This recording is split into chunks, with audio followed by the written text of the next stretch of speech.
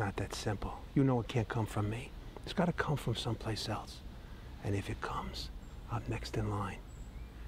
And when I'm at the top, I can deliver whoever the fuck I want to whomever I want. As for the authorities, we general public, they see this. They see these tragedies and these accidents. But it is up to us to maintain a balance in this vile world. If someone is on our sacred list, they must be eliminated. There can be no exemptions. If you got one ounce of self-preservation, you're gonna give this fucking kid whatever the hell he wants. Either that or you're gonna have his father coming looking for you when he gets out. Fuck him and fuck his father. Rocco, I'm not fucking asking you, Rock. I'm telling you. You didn't get my fucking texts? You didn't get my fucking calls?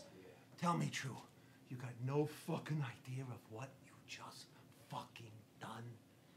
You fucking child! You are a motherfucking child! You guys don't let me run my own fucking neighborhood. What am I supposed to do? And this is a motherfucking surprise to you, you fucking idiot! It's because of bullshit like this motherfucking shit! That's why! Sal, I got my button the same way you did. Don't you ever, don't you ever motherfucking compare yourself to me, you fucking piece of shit. You know you hate this fucking kid because he's a hundred percent fucking correct. You are where you are because of your fucking wife.